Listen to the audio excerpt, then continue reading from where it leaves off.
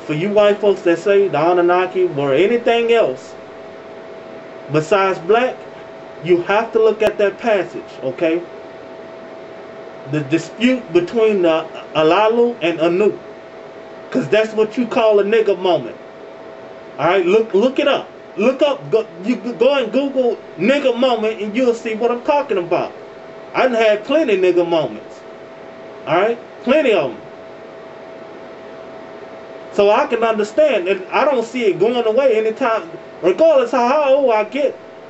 I'm pretty sure I'm gonna have a nigga moment. There's gonna be a nigga that's gonna piss me off, and we're gonna have to slug it out right there on the spot.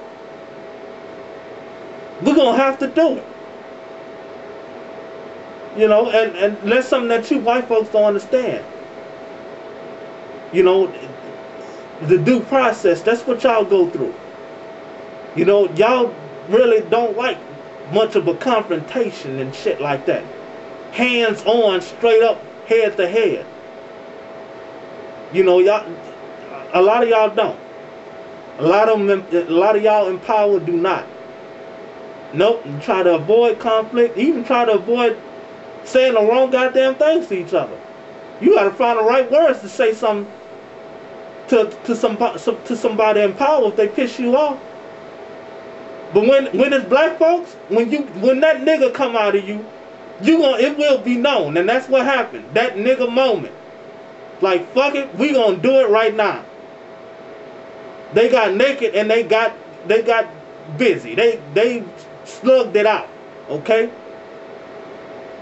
They wasn't the gloves was off, everything came off. All the fucking clothes came off. Nigga, we gonna do it. I ain't got nothing under my shirt, nothing under my pants. I'm taking it off. I'm gonna whoop your ass. To nobody can say I pulled something out and fucked you up with it.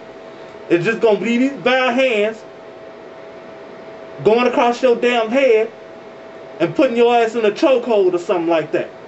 That's the nigga moment doing the Anunnaki, okay? Alalu and Anu. Nigga moment, okay? And I'm signing off.